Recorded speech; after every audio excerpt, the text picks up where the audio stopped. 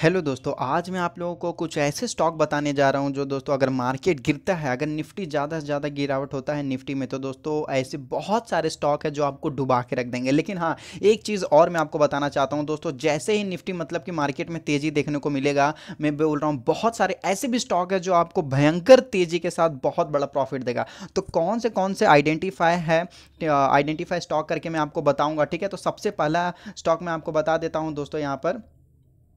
D L ठीक है? सबसे पहला स्टॉक आपके सामने पर आ चुका है दोस्तों स्टॉक का नाम है डी बी एल ठीक है? ये स्टॉक में देख लीजिए दोस्तों बहुत ज़्यादा जो है प्लेज रखा गया है। मैं आपको एक चीज़ बताना चाहता हूँ अगर मार्केट गिरता है और कुछ ऐसे स्टॉक हैं जिसके आ, कुछ प्रमोटर्स की हिस्सेदारी जो है प्लेज रखा गया है तो दोस्तों वो स्टॉक को गिरने का संभावना बहुत ज़्यादा हो जाता है क्योंकि जो प्रमोटर्स हैं उनको कोई रिस्पॉन्सिबिलिटी नहीं रहता। अगर स्टॉक गिरता है तो उनको ज़्यादा से ज़्यादा रिस्क नहीं रहेगा ठीक है? तो रिस्क कहाँ रहेगा? पब्लिक पर रहेगा ठीक है? ज़्यादा से ज़्यादा पब्लिक पर रिस्क रहेगा। तो ये ये वो स्टॉक है दोस्तों, जिसमें बहुत, मान लीजिए कि ये प्लेजिंग है, इसमें अगर मार्केट गिरता है तो आपको बहुत ज़्यादा नुकसान देखने को मिलेगा।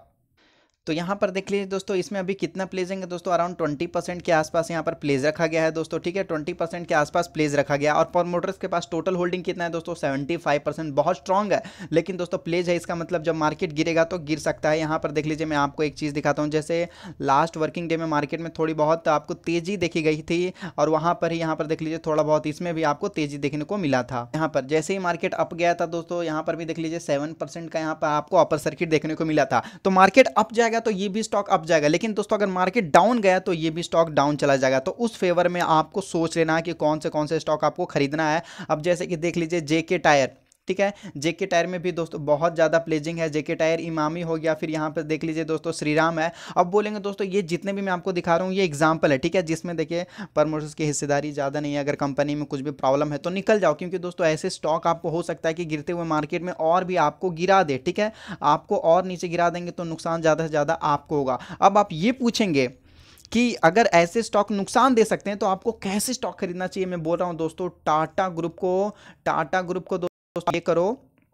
फोकस करो, ठीक है? क्योंकि दोस्तों, टाटा ग्रुप ऐसी कंपनी है दोस्तों, वहाँ पर आप अगर इंटरनेट में भी सर्च करोगे तो सारे कंपनी में टाटा स्टील हो, चाहे दोस्तों टाटा पावर हो, सारे स्टॉक में जम के खरीदारी की जा रही है दोस्तों। वहाँ पर प्रमोटर्स अपने हिस्सेदारी को बढ़ा रहे हैं मतलब जितना था पहले, ठीक है? मान लेते हैं कि पहले उनका फिफ्टी के आसपास था तो अब वो प्लस टेन कर दे रहे हैं। मतलब कि दोस्तों, अब उनके पास कितना हो जाएगा? टोटल सिक्सटी हो जाएगा सिक्सटी के आसपास हो जाएगा। तो यहाँ पर ये टेन की मतलब कि ओवर कॉन्फिडेंस क्यों है दोस्तों? कॉन्फिडेंस कॉन्फिडेंस क्यों आ रहा है? ये इसलिए आ रहा है क्योंकि उनको पता है, ये गिरते हुए मार्केट में ठीक है, गिर रहा है स्टॉक का प्राइस लेकिन दोस्तों, जब मार्केट का प्राइस अप जाना स्टार्ट होगा तो उनको भी ज़्यादा ज़्यादा जो है प्रॉफिट होना स्टार्ट होगा। सबसे पहले मैं आपका नाम लिख देता हूँ, बता देता हूँ, चाहता हूँ, ठीक है? वही काफ़ी है आप लोगों के लिए, अगर मैं यहाँ पर आपको दिखाता हूँ तो ठीक है? तो दोस्तों यहाँ पर देख लीजिए बताया जा रहा Tata Chemical on Wednesday said its promoter Tata Sons will increase the stake in company ठीक है, कितना से बढ़ाया जाएगा वो भी मैं आपको बता दे रहा, जा रहा हूँ, ठीक है? Twenty five point twenty six percent ठीक है? Twenty five point twenty six percent around twenty five percent के आसपास जो है बढ़ाया जा रहा है। तो बस वही नहीं, जितने भी दोस्तों टाटा ग्रुप है, मैं बोल रहा हूँ, टाटा पावर, टाटा स्टील, टाटा जितने भी हैं दोस्तों, सारे में प्रमोटर्स जम के खरीदारी कर रहे हैं। इसलिए क्योंकि उनको पता है कि जैसे ही मार्केट स्टार्ट हो जाएगा, चलना, उनको भी उनका डबल जो है डबल प्रॉफिट होना स्टार्ट हो जाएगा। अब आप पूछेंगे कि कैसे? ठीक है दोस्तों, वो भी मैं आपको एक्सप्लेन कर देता हूँ, ठीक है? यहाँ पर देख लीजिए दोस्तों रिलायंस में, ठीक है? रिलायंस में क्या किया गया दोस्तों, उनकी हिस्सेदारी बढ़ा दी गई, ठीक है? अंबानी जी अंबानी जी के बेटे जो हैं, उनको जो वाइफ है, वो सब लोगों ने क्या किया दोस्तों, अपना हिस्सेदारी को बढ़ा दिया। तो देखिए स्टॉक कितना दौड़ा है? हंड्रेड रुपीज़ दौड़ चुका है दोस्तों। हंड्रेड रुपीज़ दौड़ गया, वो भी within a day within एक दिन के अंदर में। और मार्केट कितना पॉजिटिव था? केवल दोस्तों फोर हंड्रेड के आसपास मार्केट फाइव हंड्रेड के आसपास पॉजिटिव था।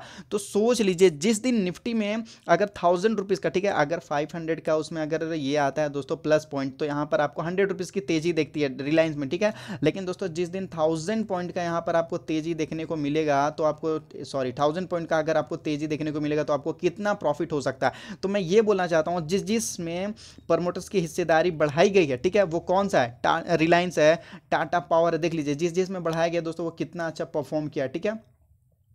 ठीक है? तो ये तीनों स्टॉक पे आपको दोस्तों फोकस करना है। ये मैंने आपको इसलिए लाया है, ये जो ऊपर में मैंने दिखाया दोस्तों, ये जो है प्लेज रखा गया है और कंपनी भी ज़्यादा मतलब कि फोकस में नहीं है। तो ये आपको अब समझ में आ गया होगा कि कौन से स्टॉक को खरीदना है, जहाँ पर प्रमोटर्स को ज़्यादा कॉन्फिडेंस है, वहाँ भी अपना नज़र रखिए, आपको भी उतना ही प्रॉफिट होगा। ठीक है दोस्तों, अगर आपको वीडियो अच्छा लगा तो लाइक करके ज़रूर इनकरेज कीजिएगा। अगर आप चाहते हैं कि इसी तरह हम वीडियो बनाते रहें तो दोस्तों आप कॉमेंट भी कर सकते हैं। अगर किसी और स्टॉक पर वीडियो बनाना चाहते हैं तो ठीक है? तो मिलते हैं आने वाले नेक्स्ट वीडियो में।